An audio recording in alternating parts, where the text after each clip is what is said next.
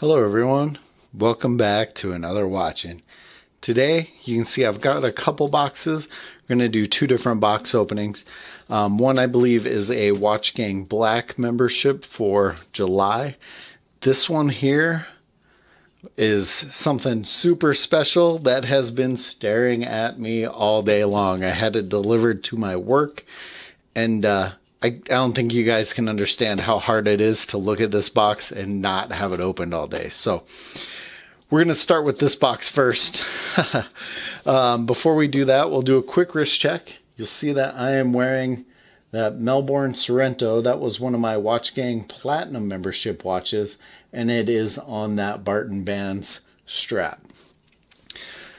All right, so as you guys know, the Watch Gang Black membership is the $99 a month membership. And we'll just do this quick, see what we got, because I am dying to open that other box. So, all right, what we got? July Black Tier.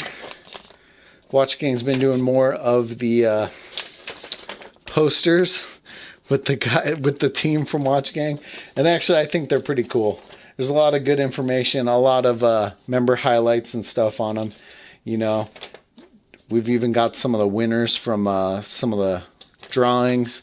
Really cool. Let's see what we got for Watch Gang Black this month. So it looks like a Nautis. Hopefully I said that right. For the open seas. Ooh. Yeah, I like that pull that off really quick. Dig that green.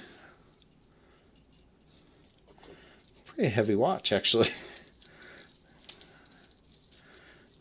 so far, now I don't actually know much about Nautis.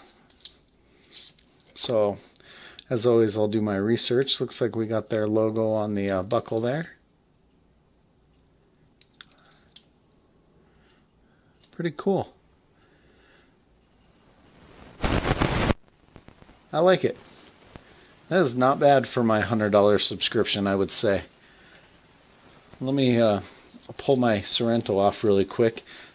Throw, just to throw it on wrist to see what we got.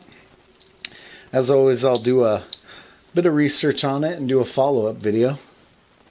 But it's very, I mean, the green and the contrasting yellow on the uh, dial there and the second hand really make it pop. Pretty cool. Let me know what you guys think of this one in the comments below.